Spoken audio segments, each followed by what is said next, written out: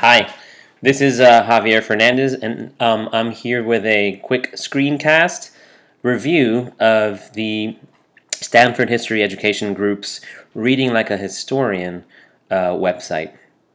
The um, Stanford History Education Group's Reading Like a Historian uh, site is, um, like it's, uh, as the name suggests, um, uh, is a site dedicated to um, nurturing in students the capacity to read primary sources, um, analyze them, um, uh, and uh, incorporate them into arguments uh, constructively. Um, uh, the Stanford uh, Education History Group uh, is responsible for um, this website. They're obviously com composed of um, Stanford University faculty, and as you can see here, that includes uh, uh, as well as staff, grad students, and, and other scholars. Um, the um, site is free. You can create an you have to create an account in order to access the um, the resources uh, on the site. You can navigate through the site without creating an account, but in, if you want to use any of the resources in there uh, in the site, it's um, you have to create an account. The accounts are free. They do ask for information, personal information, such as your name, your address, and your school affiliation, as well as an email address. Um, uh, so that's um, that's important to know.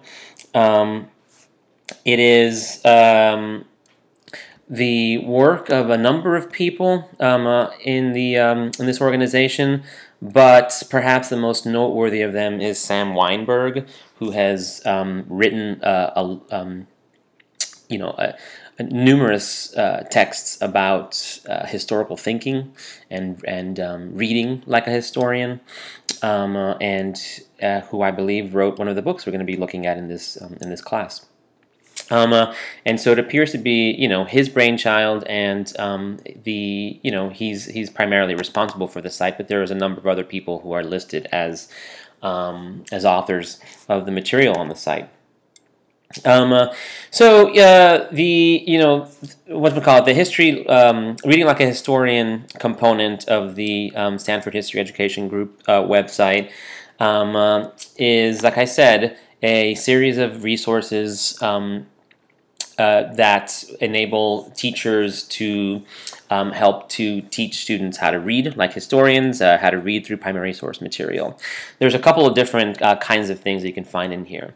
Um, uh, one is uh, intro materials. You can click here and um, access a number of um, introductory material that you can use with students to um, to introduce these uh, the skills of primary source analysis. Um, uh, there is, for example, this lunchroom fight, um, uh, uh, what do we call it, lesson plan that has students consider um, a um, the hypothetical uh, case of a lunchroom fight, um, and to ask themselves why a principal might receive conflicting um, accounts of the lunchroom fight, depending on um, the identity of the people um, uh, uh, who she interviews. Um, uh, a nice way to introduce students to um, why the same historical event might be um, viewed differently by different contemporary actors. Um, there are also the posters um, uh, that uh, allow uh, that that you can put, um, hang on in your classroom, um, uh, like this uh, big poster about sourcing, um, for example, and you can see it um, here with questions to ask um, uh, that you might post in your classroom and kind of refer to over and over again as you go uh, go through primary sources with your with your students. This is a um, a, a, poster that encompasses all, uh, or maybe even a handout that encompasses all of the skills that are introduced in this section, um, uh, along with the questions that um, each uh, that students should ask in uh, in order to get at each of the different skills um, and strategies to analyze primary sources. So that's one big component of the um, of the website.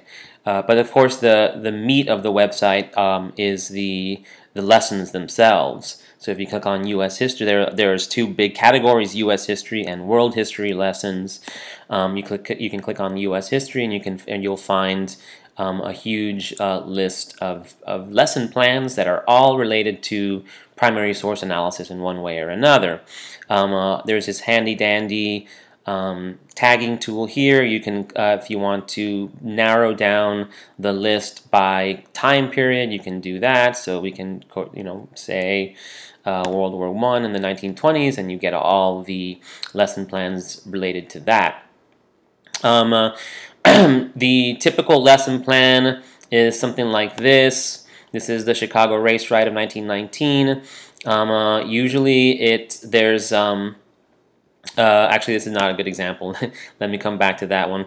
Um, uh, usually um, uh, there's uh, typically there's a question, a kind of central question um, uh, that the students should be introduced to, and then the primary source documents um, help them to answer, like this question here. And then there are the two, one or more, usually at least two or more documents that students um, can analyze. Uh, so for example, there's two ways to access these documents. One is the quick view here.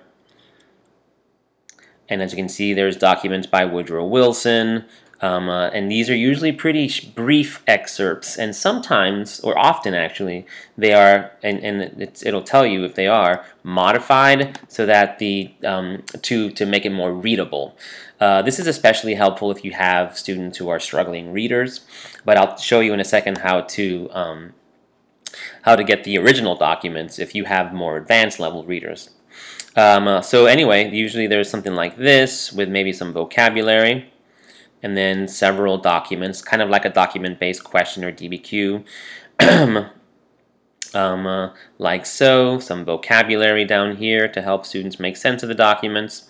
This, of course, um, presumes that you have already helped uh, students, excuse me, to um, have, have introduced the skills of historical analysis. And then at the very end, there are questions that you can, you know, choose how to deploy in your classroom. Either have students write out the answers to the questions um, uh, on a handout, or discuss them in, in small groups, or discuss them as a class, or some combination thereof. Um, uh, so anyway, there's uh, there's that. You can also find the original documents um, here, unedited, so that either you can edit them to your liking or you can give them to students uh, wholesale.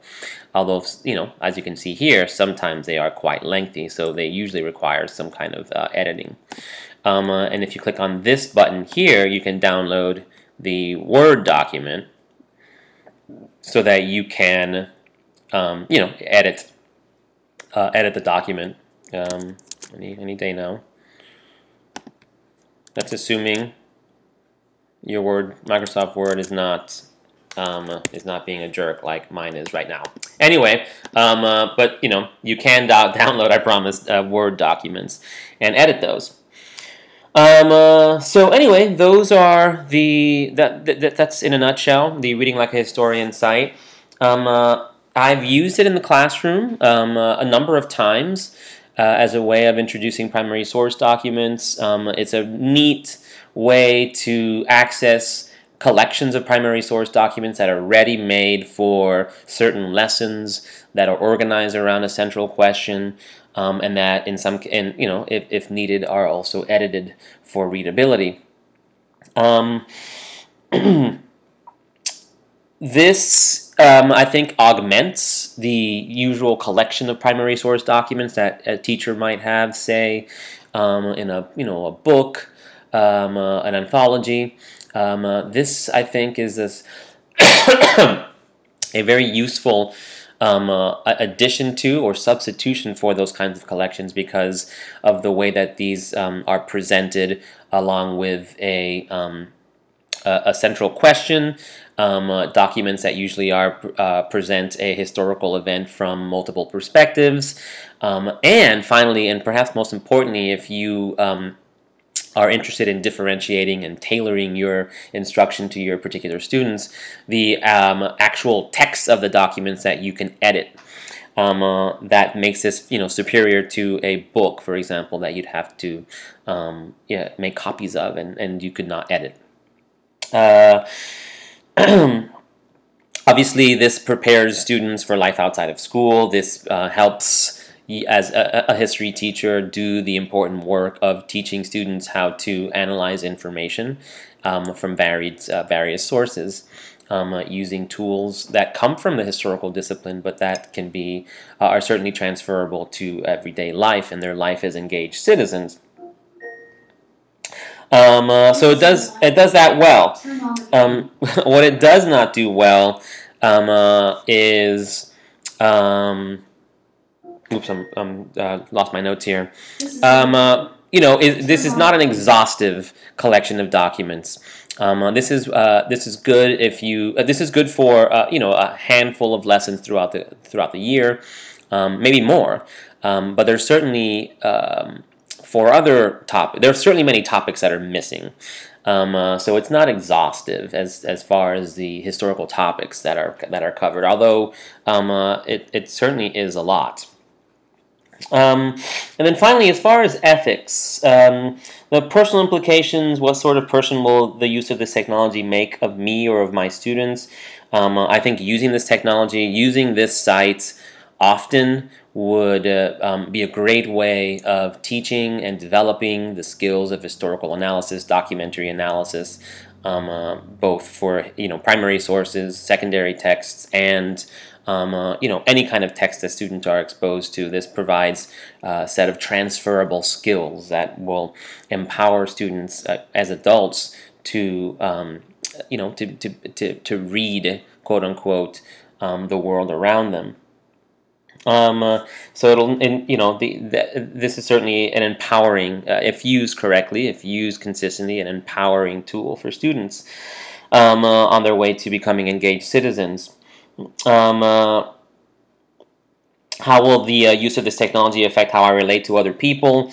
Um, uh, and what is required of other people that I or my students might use uh, te this technology? I think that this allows you to relate to other people um, uh, in as much as, again, uh, kind of um, building on what I've, what I've just said, the um, this allows students to relate to the larger world around them um, uh, to and to be able to um, you know, analyze information uh, as they encounter it in, in various sources that and as as as uh, constructed by um, uh, all kinds of different people um, with different agendas um, and different goals.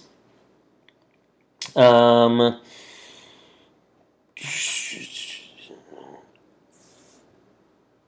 so, and then one other uh, last question upon what systems, technical or human, does my use of this technology depend? Are these systems just, etc.? Um, uh, this is a simple. This is a, a, simple resource. All you need is access to the internet. Um, so you know, uh, uh, internet um, access is certainly necessary, um, uh, either through a phone or uh, I mean a, an internet-enabled phone or a desktop or laptop device or other internet enabled uh, device, you can access this site. Like I said, it's free. Um, uh, so it isn't closed, but only in as much as you have to create an account in order to access the, the actual documents themselves.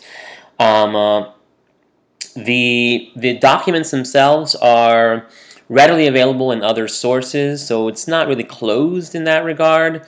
Um, uh, it merely takes what is publicly available, these primary sources, and, um, and arranges them in such a way as to make them useful pedagogically. um, uh, and anyway, so uh, that said, I think that um, this is a very useful tool. I highly recommend it um, uh, to any history teacher. Um, uh, it is uh, packed with all kinds of cool stuff that can help you make your students uh, better um, readers of primary and secondary sources. Thank you.